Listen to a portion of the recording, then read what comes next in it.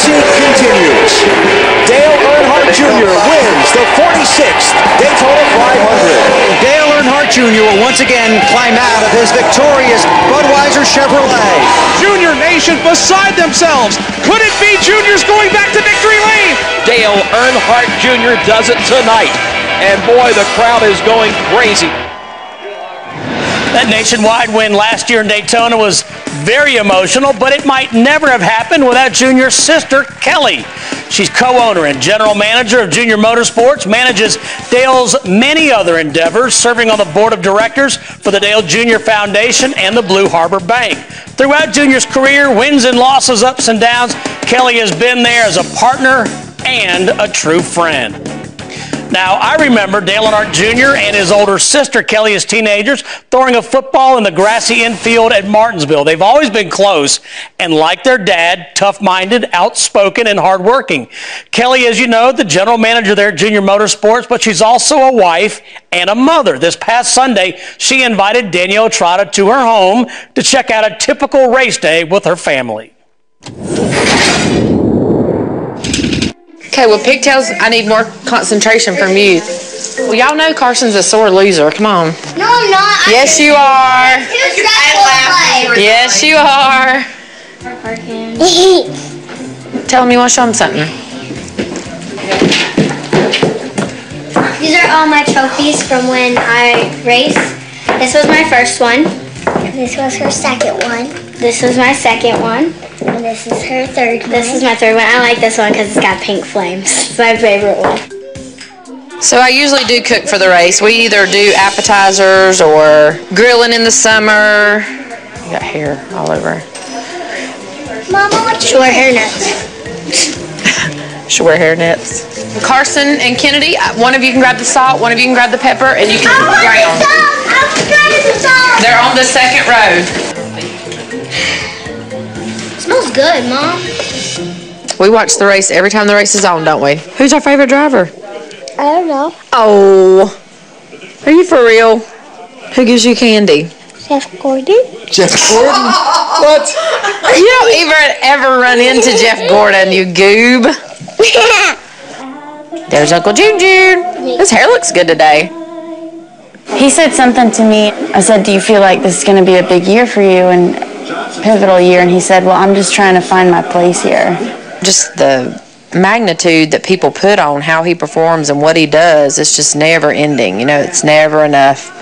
It's never good enough. It's never what they expect. and I mean, he's just one of 43 people out there trying to, you know, do his job. And some days you're going to win, some days you're going to lose. And see, I mean, he's running right there with Jimmie Johnson. Is anybody talking about, oh my gosh, Jimmie Johnson's running 25th? His fans are really loyal. They're awesome. I mean, they're behind him 100%. And the media is always trying to figure out why. You know, because everybody thinks that you want to just jump on the bandwagon of whoever's winning or whoever's doing good, but that's not, you know, that's not our case with our fans. They'll stick with you. Do you feel like this is, he's comfortable yet? I mean, Hendricks is such a big place. Lots of people, lots of employees, and Dale's very hard on himself. And so he, you know, when he isn't doing good, he thinks that he's letting everybody else down, and then it's hard for him to think that those same people are behind him.